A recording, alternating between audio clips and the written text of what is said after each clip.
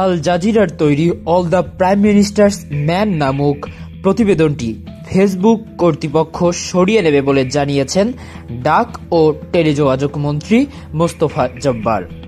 শনিবার বিশ ফেব্রুয়ারি সন্ধ্যায় গণমাধ্যমকে এ তথ্য জানান তিনি। মোস্তফা জব্বার বলেন ফেসবুক কর্তৃপক্ষের সঙ্গে একাধিকবার কথা হয়েছে। ফেসবুকের বাংলাদেশ বিষয়ক কর্মকর্তা শাহনাজ রশিদ দিয়ার সঙ্গেও কথা হয়েছে। ফেসবুক আদালতের নির্দেশনা চেয়েছিল। আমরা আদালতের নির্দেশনা তাদের দিয়েছি। ফেসবুক অফিসিয়ালি জানিয়েছে, তারা খুব দ্রুতই আল জাজিরার প্রতিবেদনটি সরিয়ে নেবে। এছাড়া ইউটিউব থেকেও সরানোর বিষয়ে সংশ্লিষ্ট কর্তৃপক্ষের সঙ্গে কথা চলছে বলেও জানান ডাক ও টেলিযোগাযোগ মন্ত্রী। এর আগে গত সতেরোই ফেব্রুয়ারি এক রিটের শুনানি নিয়ে হাইকোর্ট আল জাজিরায় সম্প্রচারিত all the prime minister's man শিরোনামের প্রতিবেদন ও তথ্যচিত্রটি দেশের সব ইন্টারনেট মাধ্যম থেকে অপসারণ করতে বিটিআরসিকে নির্দেশ দেন। তবে বাংলাদেশ আল জাজিরার সম্প্রচার বন্ধের বিষয়ে কোনো আদেশ, আদালত দেননি।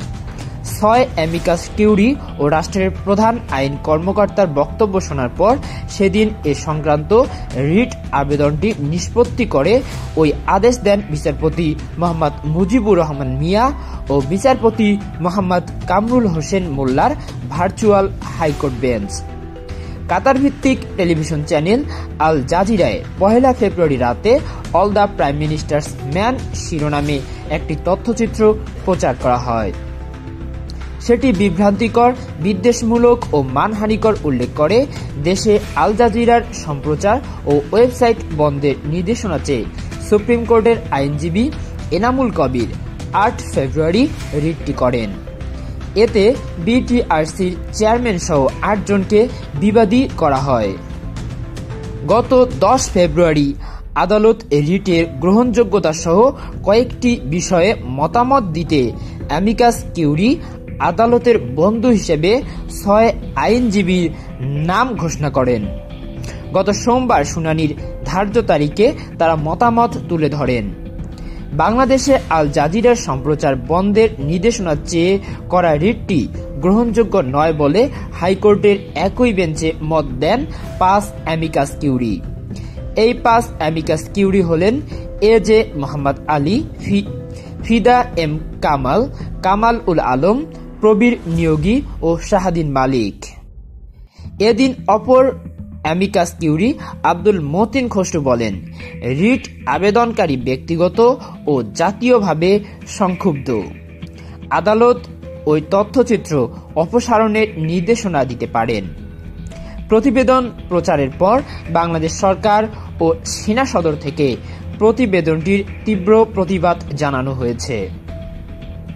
প্রতিবেদনকে মিথ্যা ও মানহানিকর হিসেবে দাবি করে পররাষ্ট্র মন্ত্রণালয় এক বিবৃতিতে বাংলাদেশ সরকারের অবস্থান সম্পর্কে জানায়।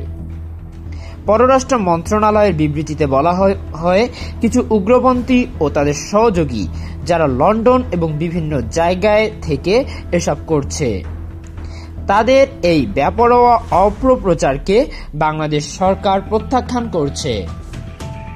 আর সেনা সদর থেকে বলা হয়েছে, তথ্যচিত্র আকারে পরিবেশিত।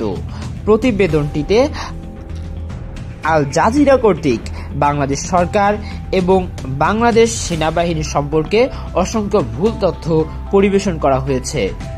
এর ফলে জনমনে বিভ্রান্তির সৃষ্টি হচ্ছে। উক্ত প্রতিবেদন দৃষ্টে স্পষ্টই প্রতীয়মান হয় যে, সামগ্রিকভাবে বাংলাদেশ সরকার ও বাংলাদেশ সেনাবাহিনী তথা সেনাবাহিনী প্রধানকে বাংলাদেশের জনগণ ও বিশ্বের দরবারে বিতর্কিত, অগ্রহণযোগ্য ও হ্যায় প্রতিপন্ন করার লক্ষ্যে কিছু বিচ্ছিন্ন ঘটনার সঙ্গে উদ্দেশ্য প্রণোদিতভাবে অন্যান্য অসত্য বানোয়াট মন গড়া অনুমান নির্ভর ও অসমর্থিত তথ্য সংযুক্ত করে এ প্রতিবেদনটি প্রস্তুত করা হয়েছে। তথ্য পরিবেশন করা হয়েছে। এর ফলে জনমনে বিভ্রান্তির সৃষ্টি হচ্ছে।